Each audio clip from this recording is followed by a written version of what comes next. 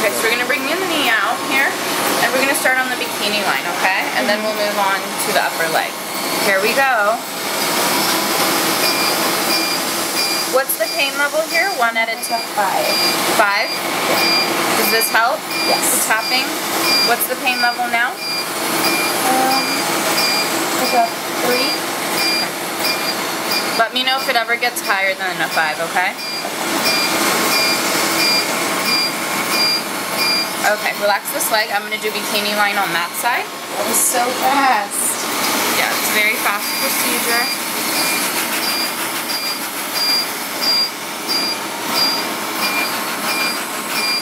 You okay here?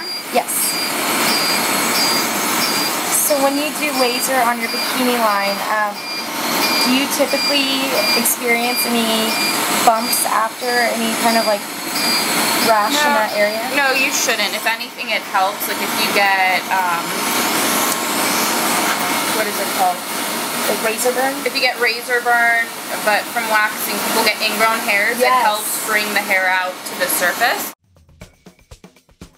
So I just finished my first treatment in my bikini line and my upper legs for laser hair removal. And I'm so excited that I can walk away without the discomfort that I usually get from waxing or even shaving.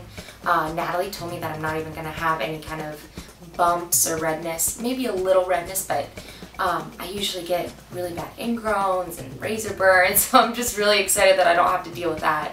Um,